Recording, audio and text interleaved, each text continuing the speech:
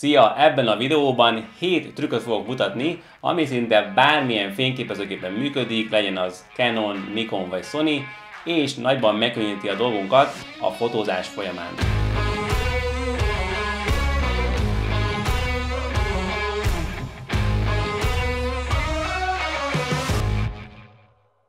Kezdjük az első trükkel, ami igazából nem egy trükk, hanem egy funkció, ez pedig az Auto ISO használata. Az Auto ISO egy olyan ISO beállítás, ami azt csinálja, hogy az ISO-t automatikusan a lehető legalacsonyabban tartja, hogy minél zajmentesebb képet kapjunk, de ugyanakkor automatikusan elég magasan is tartja az ISO-t ahhoz, hogy a záridő ne lépjen át egy bizonyos előre meghatározott értéket. Például itt 1 per 250 másodperc minimális záridőt állítottam be, és látszik, hogy ahogy rekeszelem le az objektívet, a gép automatikusan egyre emeli fejebb az izót, hogy kompenzálja a csökkenő fénymennyiséget, és a záridőt legalább 1 per 250 másodpercen tartsa. És ugyanígy, ha tágabb rekeszt állítok be, automatikusan csökkenti az izót, hogy jobb képminőséget kapjak. Hogy miért is jó ez? Azért, mert ha ezt az autó izót jól beállítjuk, és ezt használjuk rekesz előválasztás módban, akkor gyakorlatilag a gép mindenféle beállítási terhet levesz a vállunkról, és nekünk csak a komponálásra, valamint a fényekre kell figyelnünk. Éppen ezért én mindenkinek azt javaslom, hogy kézből, nappal fotózva használja az autóizó beállítást, rekesz előválasztás móddal kombinálva, de természetesen figyeljen oda arra, hogy az autóizó beállításnál milyen leghosszabb záridő van beállítva. Ha egy képstabilis objektívvel fotózunk tájképet, akkor a minimális záridő akár egész hosszú is lehet, de ha telével fotózunk mondjuk valamilyen sportot, akkor itt már kelleni fog a gyors záridő de a leghosszabb, vagy hát ahogy a fényképezőgépek hívják, minimális záridő kiválasztását bízhatjuk a gépre is, ha itt az autó opcióra megyünk. Ekkor a gép figyelembe veszi az objektív gyújtótávját, és automatikusan változtatja a minimális záridőt. Például ezen a Nikon Z50-es gépen 50 mm-nél 1,80 másodperc záridő alá nem engedi menni az autó minimális záridő állásban, Míg ha 250 mm-re zoomolok, akkor ezt a gép érzékeli, és itt már úgy állítja az izót, hogy a záridő sose legyen hosszabb 1 400 másodpercnél. Ugye, mert a gép úgy gondolkodik, hogy 250 mm-en egy APS-C szenzoros géppel 1 400 másodperc körülbelül az a záridő, amit kézből meg tudok tartani kikapcsolt képstabilizátor mellett. Sőt, egyes gépeken az autó leghosszabb záridőt is személyre lehet szabni, és ha akarom, az autó értéket még egy-két rekesszel gyorsabbra vagy lassabbra is tudom venni. Például, ha ezt az autó értéket két rekesszel gyorsabbra veszem, akkor 50 mm-en az 1,80 másodperc helyett 1 per 320 másodperc záridőnél hosszabbat nem fog engedni. Canon gépeken az autóizót úgy lehet aktiválni, hogy az izó gombot megnyomva a skála bal szélére megyünk, majd a menüben az ISO érzékenység alatt lehet a minimális, azaz helyesebben mondva inkább leghosszabb záridőt beállítani. Nikon gépeken egy kicsit más a helyzet, az alsó kategóriás és régebbi vázakon be kell menni sajnos a menübe, és ott kell aktiválni az autóizó opciót, hát ami eléggé kényelmetlen. Viszont az újabb és felsőbb kategóriás vázak esetében az ISO gombot megnyomva az előső, tehát a mutató ujjunknál lévő tárcsát elforgatva lehet egyből aktiválni az autóizót. Viszont Nikon gépeknél figyeljünk arra, hogy az az ISO érték, ahol aktiváltuk az autó ISO-t, az lesz az autó ISO tartománynak az alja. Tehát, hogyha ISO 400-nál aktiváltam az autó ISO funkciót, akkor ISO 400-tól fölfelé fog ISO érzékenységet választani autó ISO módban. Pontosan ezért Nikon gépeken ajánlott az autó ISO-t ISO 100-as ISO-nál aktiválni, hogy az egész ISO tartományt kihasználja. A következő tip, hogy használd ki a géped érintő kijelzőjét. Természetesen ez a trükk azokra vonatkozik, akiknek érintő kijelzős gépük van. Amennyiben az érintő kijelzős mód be van kapcsolva, a kijelző valamelyik oldalán mindig találsz egy kis kéz ikont. Ennek három állása van. Az első az off, azaz amikor hiába érinted meg a kijelzőt, nem fog történni semmi. A második opció az az érintéses kioldás és AF. Ebben a módban, ahová pöttyintek, oda teszi a fókuszpontot, majd arra a fókuszpontra fókuszál, és amint megtalálta a fókuszt, exponál is a gép. Tehát gyakorlatilag ezzel a móddal úgy tudok fényképezni, mintha mondjuk egy telefonnal fényképeznék, csak rápöttyintek, fókuszál és exponál. A harmadik mód az az érintéses AF bekapcsolás, ekkor ahová pöttyintek az ujjammal, oda fogja tenni az autofókusz pontot vagy zónát, attól függ, hogy éppen milyen AF pont módban vagyok. A másik érintő kijelzős trükk, hogy ha már a kép elkészült, akkor a legtöbb gépen, ha duplán is gyorsan belepöttyintek a kijelzőbe, akkor általában 100%-os nagyításra ugrik, és le tudom ellenőrizni a kép élességét. A következő, a harmadik trükk is a kép élesség ellenőrzéséhez kapcsolódik, ugyanis a képekbe belenagyítva, az egyik tárcsát forgatva tudok ugrálni a képek között, de úgy, hogy közben ez a belenagyítás megmarad.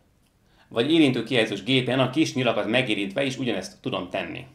Például itt kézből több fényképet is készítettem a Holdról, és ezzel a trükkel könnyen ki tudom választani a rosszul fókuszált képeket. Vagy éppenséggel a jó fókuszált képeket. Ez a trükk minden fényképezőgépen működik, még a kompakt gépeken is, maximum másik tárcsát kell forgatnod. Például a felsőbb kategóriás Canon vázakon, mint ez a 6D, amin két vezérlő tárcsa van, a hátlapi tárcsával lehet a képek között lépkedni. Ha viszont olyan Canon DSLR-ed van, amin csak egy vezérlő tárcsa van, mint például ezen az 550D-n, akkor le kell nyomnod a plusz-minusz AV gombot, majd úgy tekerni a tárcsán. Nikon gépeken pedig a gép hátulján a hüvelykujjunknál lévő tárcsával lehet általában lépkedni a képek között. A következő, a negyedik trükk, ez az időzítős sorozat felvétel mód. Volt már olyan, hogy csoportképet szerettél volna készíteni, amin te is rajta vagy, és azért beállítottad a gépet állványra, 10 másodperces késletetést állítottál be, odafutottál a csoporthoz, elkészült a fotó, majd amikor megnézted a fotót, akkor rájöttél, hogy hát valaki pont belepislogott a képbe. Na erre találták ki az időzítős sorozat felvétel módot. Ebben a módban a gép vár egy ideig, majd utána sorozat felvételt csinál, annyi képkockát, amennyit te beállítottál. Ez a funkció gyakorlatilag az összes fényképezőgépben benne van, kivéve például a Canon 6D-ben, ahol a Canon úgy gondolta, hogy ezt a profik majd inkább távkiódóval oldják meg. Most erről nem fejtem ki a véleményemet, lehet, hogy az arcomra van írva. Szóval a Canon gépeken a kioldási mód menüben válaszuk a jobb oldalon a legszélsőt, általában ez szokott lenni az időcítős sorozat felvétel, majd állítsuk be, hogy hány képet készítsen sorozatban.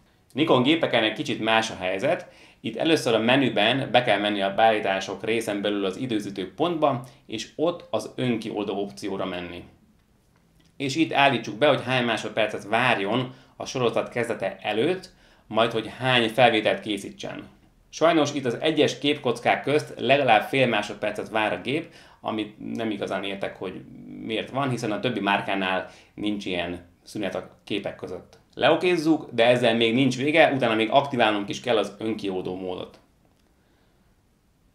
Sony gépeken pedig az időzítőre menve jobbra-balra lehet kiválasztani a különféle kombinációkat. Én ezt a kiadási módot sokszor használom éjszakai fotó készítésekor, amikor azt szeretném, hogy több azonos expóval készített képem legyen, ugyanazzal a kompozícióval, és ekkor utómunkában ki tudom választani, hogy melyik kép tetszik, vagy ha úgy akarom, akkor egyesíthetem a fénycsikokat is. A következő trükk a fókuszálás az élőképbe belenagyítva. Tükörreflexes gépeken a keresőben nézve és ott fókuszálva bizonyos esetekben elő szokott fordulni, hogy a gép sehogy se akarja megtalálni a pontos fókuszt. Csak felle fókuszál, vagy azt hiszi, hogy jól fókuszált, de igazából éretlen a téma. Főként ellenfényes kompozícióknál, vagy éjszaka szokott ez előfordulni. És ilyenkor jön jól ez a trükk. Élőkép módba váltunk, majd belenagyítunk a kívánt területre, és így fókuszálunk. Ilyenkor már a fotó készítése előtt pontosan látjuk, hogy a gép jól fókuszált-e. Ha jól fókuszált, akkor exponálhatunk is. Ha viszont még így se találja a fókuszt, akkor érdemes manuális, azaz kézi fókuszálásra váltani, erről már készítettem egy külön videót, majd ide belinkelem fölülre. Viszont a hátránya ennek a módszernek, hogy élőkép módban a legtöbb tükörreflexes gép kontraszt alapú fókuszálást használ, ami fájdalmasan lassú tud lenni, különösen kevesebb fénynél. És a másik hátrány ennek a módszernek, hogy gyakorlatilag csak álló téma esetén alkalmazható, és leginkább akkor, ha a gépünk állványon van.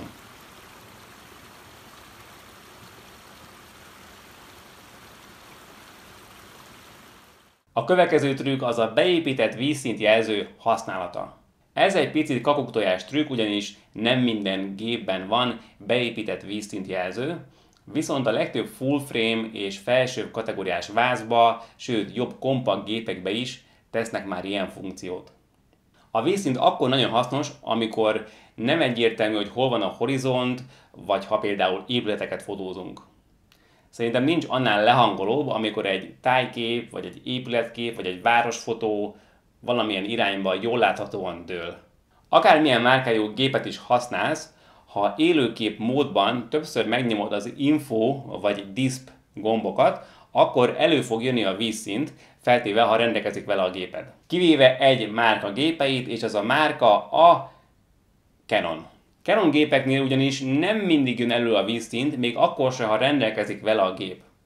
A megoldás itt abban van, hogy élőképben, arcfelismerő autofókusz módban a vízszint nem jön elő a Canon gépeken, nem tudom, hogy ennek mi a logikája, minden esetre így van. Viszont, ha átlépünk bármelyik másik autofókusz pont opcióra, akkor már elő fog jönni a vízszint az info gombot megnyomva. És most jön az utolsó trükk, amikor ezt megmutatták nekem, akkor így a homlokomra csaptam, hogy Úristen, nekem ez eddig miért nem jutott hamarabb eszembe, mert annyira adja magát, de valahogy az ember nem gondol rá. Ez pedig az gyűrűben való elforgatás. Ugye a nagyobb teleobjektíveknél a gyártók tesznek úgynevezett gyűrűt az objektívre, hogy ha az ember állványra szeretné tenni a gépet, akkor egyenletesebb legyen a súlyelosztás, és ne terhelje annyira az állványfejet. Ameddig vízszintes vagy horizontális tájolású fotókat készítünk, addig adja magát, hogy hogy kell ezt használni. De mi van, hogyha én álló, tehát vertikális fotót szeretnék készíteni?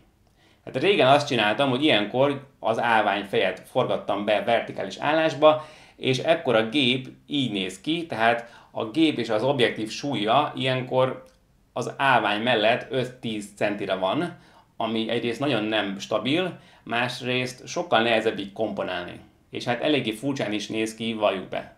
És most jön a trükk, ehelyett azt csináljuk, hogy az állványgyűrű csavarját meglazítjuk egy kicsikét, és egész egyszerűen az objektívet forgatjuk el az állványgyűrűben.